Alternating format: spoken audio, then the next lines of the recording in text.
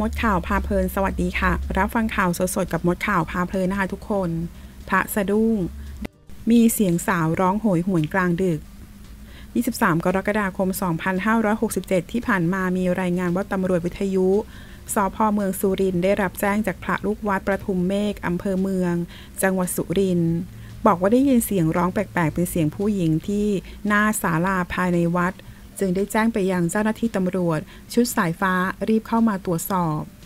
หลังจากเข้าไปตรวจสอบที่เกิดเหตุหน้าศาลาภายในวัดพบ ชายหญิงสองคนอายุประมาณ 40 ปี นั่งคล่อมหญิงสาวที่นอนอยู่ กับพื้นสวมเสื้อยืดแขนสั้นแล้วก็สวมกางเกงยีนถูกดึงขึ้นมาอยู่บริเวณสะโพก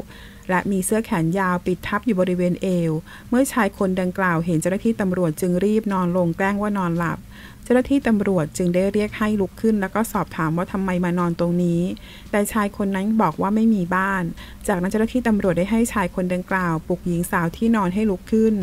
พร้อมกับบอกว่าให้แต่งตัวให้เรียบร้อย และบอกให้กลับบ้านไปอย่ามานอนที่วัดแบบนี้ ซึ่งชายคนดังกล่าวได้ปลุกหญิงสาวที่มีสภาพเมาไม่ได้สติอยู่สักพัก